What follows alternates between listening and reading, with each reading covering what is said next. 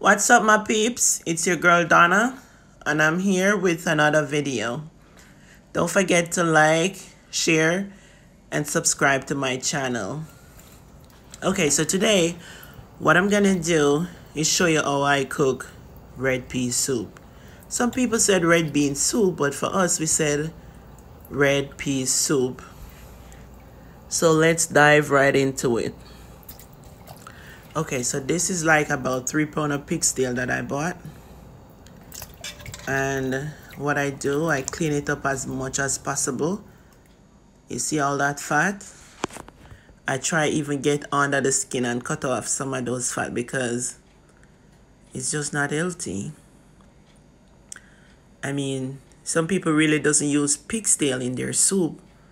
But for me, without pig's tail, in my pea soup is like no pea soup because I love pig's tail. Look at all that fat. I try cut it off as much as possible. Then I wash it with running water and I put it in a pot with boiling water and I let it boil off for about five minutes. I throw off that water and then I rinse it off again with fresh water.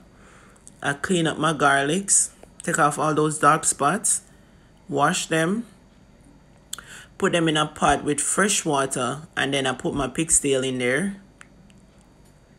And I let that stay on the fire and boil for roughly, after it boiling up for maybe about 20 minutes.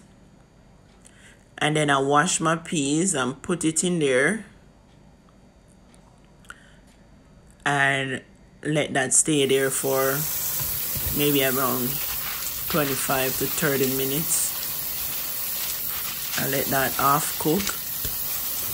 While that going on, I start cleaning up my chicken foot. Take off all the nails. Wash them off with fresh water. And then I wash them off with hot water from the kettle. I boil my water and just wash off my chicken feet. Chicken feet can be also greasy. So I wash them with boiling water. Okay, I let that, put that in and all of that just stay on the fire, cook for maybe a roughly another 20 minutes 30 minutes 25 minutes either way I'm, I, I didn't time it. But I just let I cover it up and I just leave that to cook. And then I start make put with some coconut milk also. I put some coconut milk in there like about half cup of coconut milk.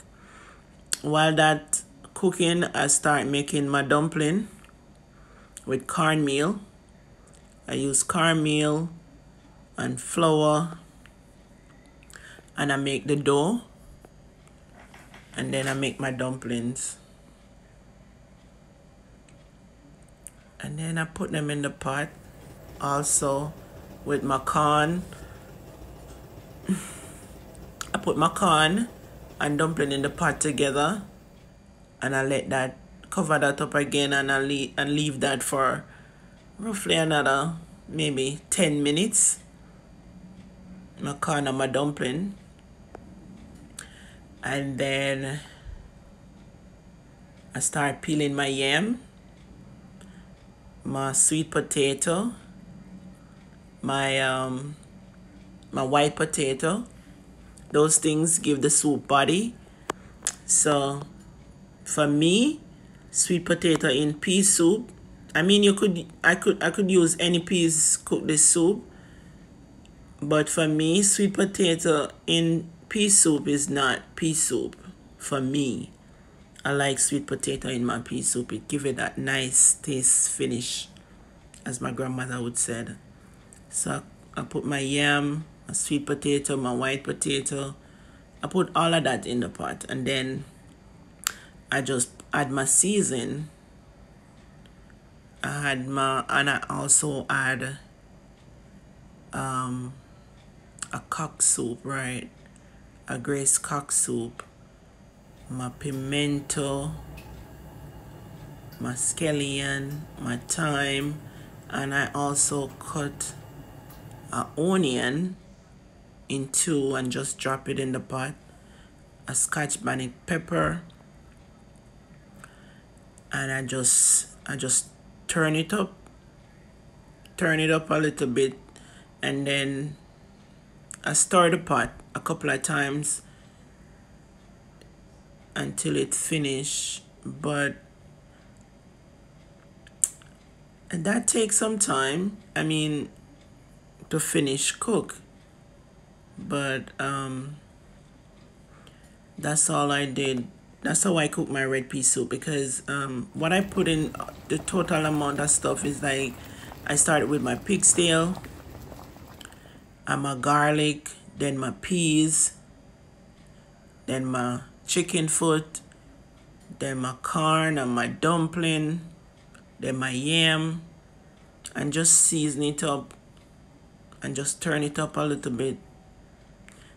Because of the tail, I didn't put any salt in there because the tail still have salt and then that cock soup have some salt in there.